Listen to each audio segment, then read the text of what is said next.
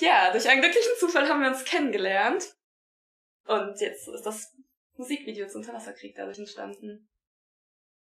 Genau, wir waren einfach bei so einem Projekt für so Künstler und Künstlerinnen und dann äh, haben wir so darüber geredet und sie so, ja, ich mache Musik, ich so, ja, was denn?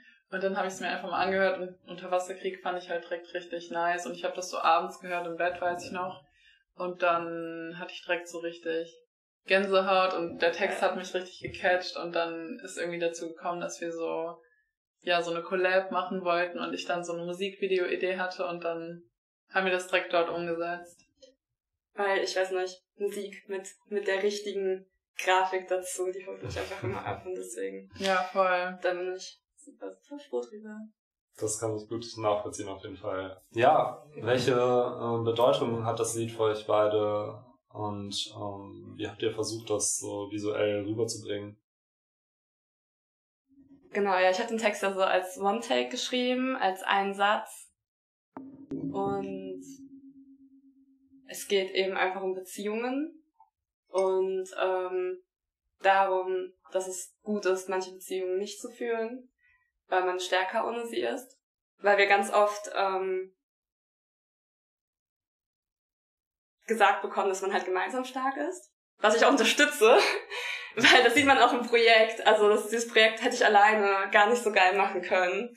Ähm, aber es muss mit den richtigen Leuten sein. Weil, ähm, genau, alleine bin ich stärker als bei dir. Heißt ja nicht, dass ich generell alleine stärker bin, sondern alleine bin ich stärker als mit manchen Personen.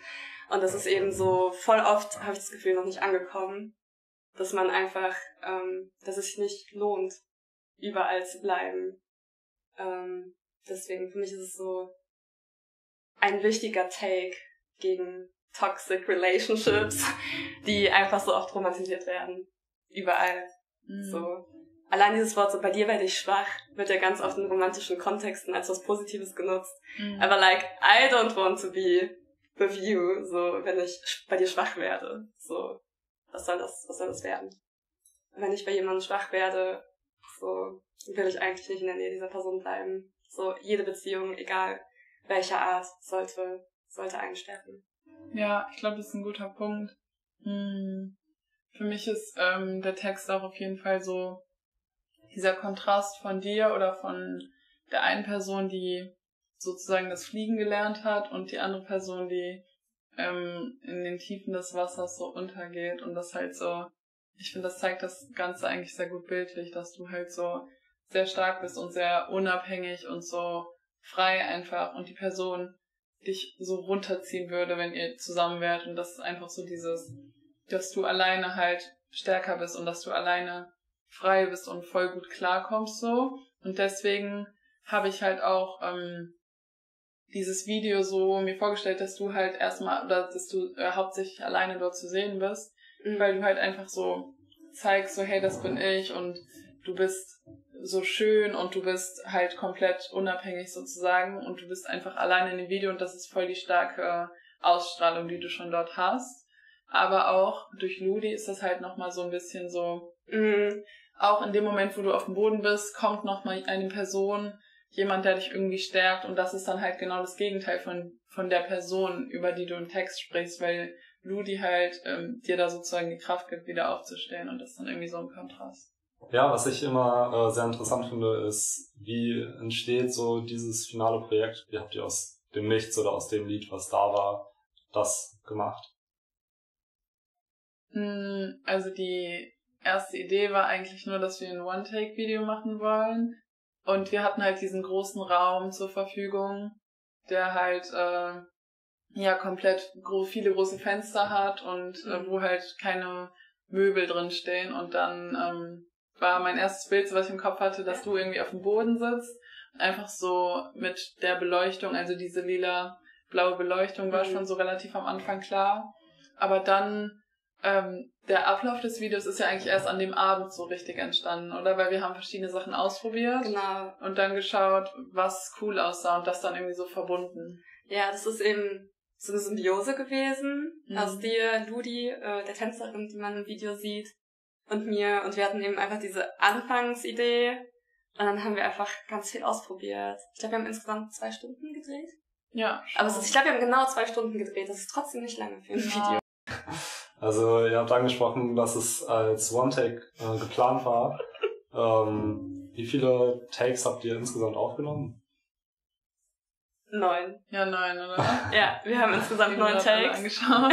die, haben wir uns, genau, die haben uns alle angeguckt. Und ähm, ja, wir können ja noch kurz drüber reden, warum unser One-Shot kein One-Shot mehr ist. Stimmt. Ja. Unser One-Shot ist jetzt ein Two-Shot-Video geworden.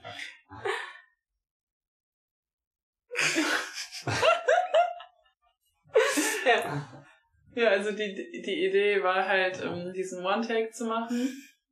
Und wir haben halt wirklich neunmal das ganze Lied durchgehört und dabei gefilmt.